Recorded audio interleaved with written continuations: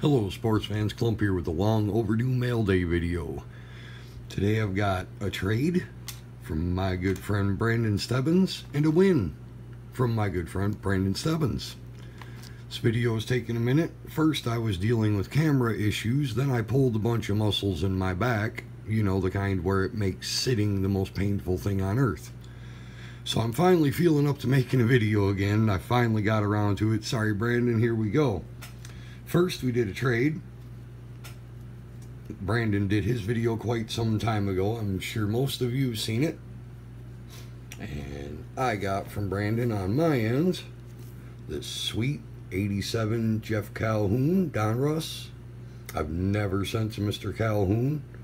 I've never even looked to see if he, you know, I don't even know if he's signing now or what. I've never looked it up before, so it's nice to have a Jeff Calhoun signature. And then there's this sweet, what, 94? Oh, it's upside down. Yep. Oh, I moved it. Sweet 94 Upper Deck Craig Paquette. They're on Brandon Stebbins Oakland days. I have sent to Mr. Paquette, but not that card. Then the awesome Toby Harrah on the 1987 Topps. Toby Harrah was a beast. Started out playing with the Senators. Played for many years there for Texas. Great signer. Another of Brandon Stebbins' Oakland days, Mr. Storm Davis. Back in the beginning of my TTMing, I went 0 for 3 with Storm Davis, and Brandon Stebbins finally took pity on me and sent me one. Since then, I have sent to him one time. I've got a few. Another Storm Davis. Always liked watching him pitch when I was a kid. He was a great pitcher during the height of my collecting as a youth. and then got this what year is this?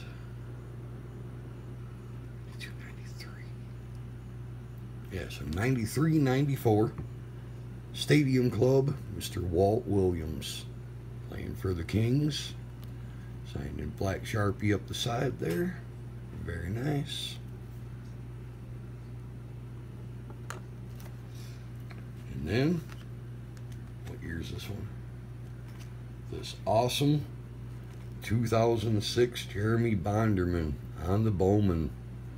Jeremy Bonderman, big fan of Jeremy Bonderman. I actually got to watch him pitch live at Comerica. It was very cool. Jeremy Bonderman was a strikeout pitcher. In his relatively short career, he amassed almost 1,000 strikeouts had to take some he took some time off between 2010 and 2013 had tommy john surgery and then made a little comeback for a little while he was originally drafted by brandon stebbins oakland athletics while they were headed up by manager art howe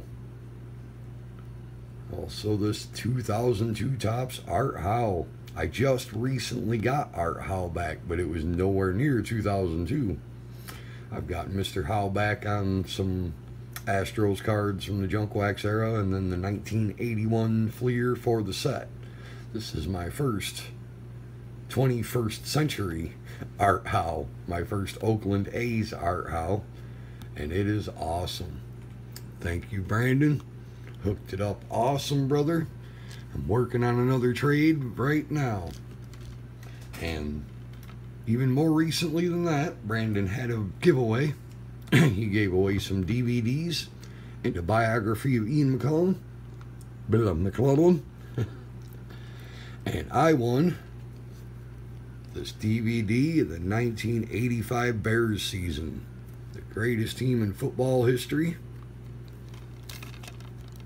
you see all kinds of Mike Ditka as a player says relive the excitement of the most memorable team in sports history, the 1985 Chicago Bears, just days before the biggest game in the football season. The championship team, led by Walter Payton, Jim McMahon, William the Refrigerator Perry, which I'm waiting on a return from, and Coach Iron Mike Ditka.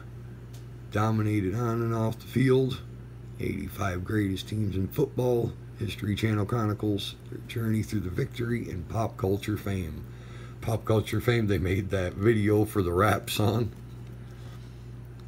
Features interviews with football legends Mike Singletary, up east, Dan Hampton, Phil Simms, Dan Marino, as well as famous Chicagoans from all walks of life, including President Obama, Bill Murray, Jesse Jackson, and the film The Unforgettable Team that launched the iconic 80s music video and inspired the SNL sketch Da Bears.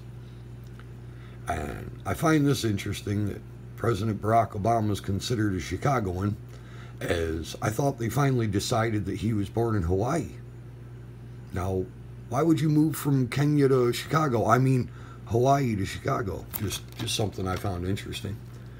But there you go. I probably will watch it, and then I'm thinking about sending it out. Awesome win from an awesome YouTuber. Brandon's Brandon, you the man, buddy. Thanks for all that you do. Keep up the great work. Thanks to all of you for watching. Best of luck on y'all's returns. See you again soon.